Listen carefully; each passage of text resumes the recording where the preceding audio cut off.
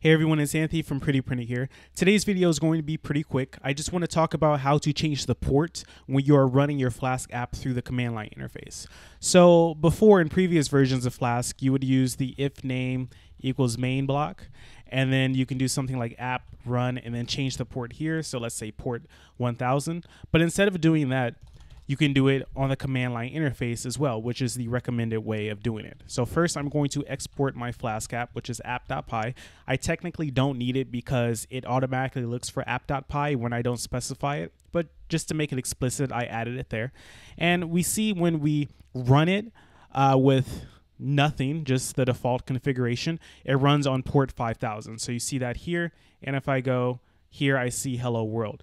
But if I want to change that port for whatever reason, so for example, I have a couple of Flask apps that I'm running in the case where I'm doing something like creating an API and testing that API at the same time, then I will want two different apps. And of course, they can't be on the same port. So I'd have to change the port for at least one of them.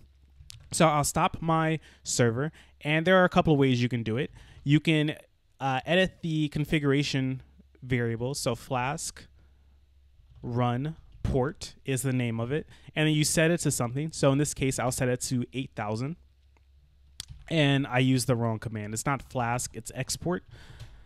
Export Flask run port equals 8000. And then I do Flask run. And then we see it's on port 8000. So if I refresh the one with uh, port 5000, it's going to tell me that I can't find, unable to connect. But if I go to 8000, it works. So that's one way of doing it.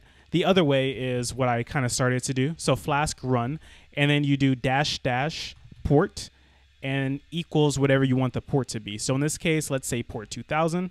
And then we see down here it's running on port 2000. So if I change this and run it, it's working. And if I try to go back to port 8000, it no longer works. So just a quick video, like I said, it may be useful if you don't like the default port of 5000 or you have multiple Flask apps running on one computer at the same time. So you want to have different ports so you can actually use them at the same time.